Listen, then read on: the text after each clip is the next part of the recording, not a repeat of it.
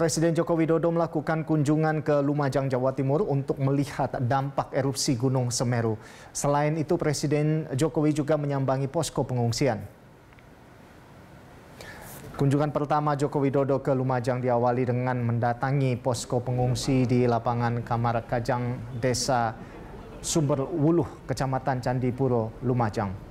Presiden bertemu dengan para pengungsi dan melihat berbagai sarana yang disiapkan oleh Pemkap Lumajang untuk memenuhi kebutuhan para pengungsi. Selain ke posko pengungsian, Jokowi juga akan meninjau dusun Renteng yang merupakan lokasi terparah terdampak letusan Semeru.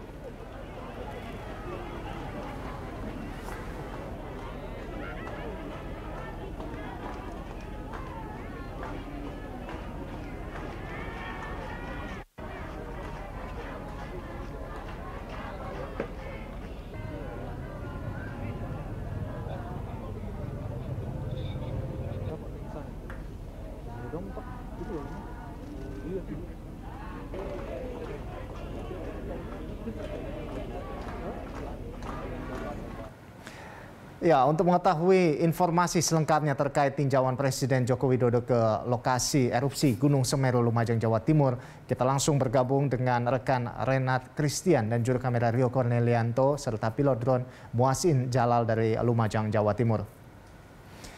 Ya, uh, Renat, dari pantauan Anda seperti apa kunjungan Presiden Jokowi ke sana? Apa-apa saja yang dilakukan Presiden ketika berkunjung ke lokasi pengungsian korban erupsi Semeru?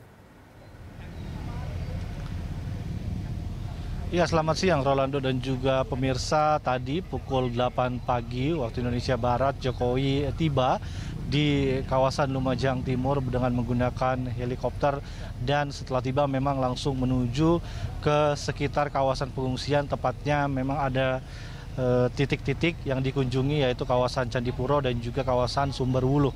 Dan tadi Jokowi pertama kali mengunjungi kawasan ataupun posko yang ada di Desa Sumberwuluh yang memang menjadi salah satu posko pengungsian yang cukup banyak penampung eh, masyarakat yang kini sedang meninggalkan rumahnya akibat terdampak dari erupsi Gunung Semeru pada beberapa waktu lalu. Dan dari pantauan kami memang Jokowi bersama dengan beberapa pejabat juga seperti Kapolri dan juga Menteri PUPR Basuki dan juga Gubernur Jawa Timur dan dan tentunya Bupati Lumajang. Dan tadi kami melihat Jokowi mulai melakukan tinjauan ke setiap tenda yang ada di uh, posko pengungsian ini. Memang di posko pengungsian ini uh, berbagai kebutuhan disediakan mulai dari tenda kesehatan, lalu ada tenda untuk logistik, lalu ada juga tenda untuk perawatan, bahkan ada juga tenda untuk anak-anak dan juga tentunya tenda bagi masyarakat untuk beristirahat selama melakukan pengungsian. Dan saat kami melihat memang Presiden Joko Widodo ini uh, juga memberikan bantuan uh, seperti makanan dan juga perlengkapan seperti sarung dan hal tersebut tentunya akan sangat membantu mengingat uh, cuaca yang ada di uh, Semeru ini pada malam hari cukup dingin dan diharapkan bantuan tersebut uh, bisa berguna bagi masyarakat yang kini sedang mengungsi. Lalu setelah melakukan peninjauan di tenda pengungsi, Presiden Joko Widodo juga melakukan tinjauan ke tempat anak-anak yang kini sedang berada di pengungsian yang sedang melakukan trauma healing akibat mereka yang masih merasa ketakutan akibat erupsi yang terjadi secara tiba-tiba dan mereka ada di tenda untuk trauma healing. Presiden Joko Widodo dan bersama juga pejabat-pejabat terkait juga melakukan kunjungan dan juga memberikan semangat bagi mereka agar tetap kuat dan uh, selalu uh, kuat dalam menghadapi uh, bencana yang memang kini harus dihadapi oleh mereka. Lalu setelah melakukan kunjungan dan tinjauan setelah memberikan bantuan di eh, kawasan Sumberwulu, Presiden Joko Widodo bergerak naik ke atas, tepatnya di uh, kawasan Geladak Perak, yaitu jembatan ataupun jalan yang menghubungkan antara kawasan Candipuro dan juga kawasan Pronojiwo yang di mana jembatan ini sudah putus, hancur dihajar oleh uh, aliran lahar dingin dan juga endapan lumpur yang uh, sangat masif pada beberapa waktu lalu yang membuat kini jalan tersebut sudah terputus. Dan tadi kami lihat, melihat juga Jokowi juga melakukan peninjauan bersama dengan Menteri PUPR Basuki dan melihat uh, bagaimana nantinya uh, proses perbaikan ataupun strategi untuk kembali menghubungkan dua desa uh, tersebut antara Candipuro dan juga Pronojiwo. Dan kini memang kunjungannya telah selesai. Presiden Joko Widodo bersama rombongan kini uh, sudah kembali dari uh, kawasan Geladak Perak dan menuju ke tempat lainnya.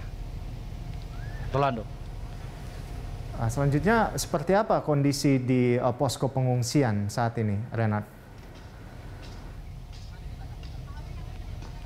Iya, untuk kondisi posko pengungsian, tepatnya di, di salah satu posko yaitu di posko Sumberwuluh yang ada di Lumajang, Jawa Timur ini memang kami melihat bahwa ada beberapa tenda ataupun yang dibuat untuk memenuhi setiap kebutuhan dari para masyarakat. Kami melihat dari pihak kepolisian, dari Bitdokes mendirikan tenda untuk memberikan uh, pelayanan kesehatan bagi masyarakat yang memang membutuhkan pelayanan kesehatan selama mengungsi. Dan kami juga melihat ada tenda juga dari uh, posko kesehatan Lantama 5 dari TNI Angkatan Laut juga menggelar poskonya kesehatannya. Dan uh, dua posko kesehatan ini nantinya akan memberikan bantuan bagi warga yang memang sedang uh, sakit ataupun mengalami sesuatu yang tidak enak selama melakukan pengungsian. Dari data sendiri kami mencatat memang ada sekitar 400 orang kini yang berada di uh, posko pengungsian Sumber Wuluh ini dan dari total sekitar 1000 yang tersebar di berbagai posko dan tapi namun di Sumber Wuluh ini kami mencatat ada sekitar 400 orang yang memang didominasi oleh orang dewasa.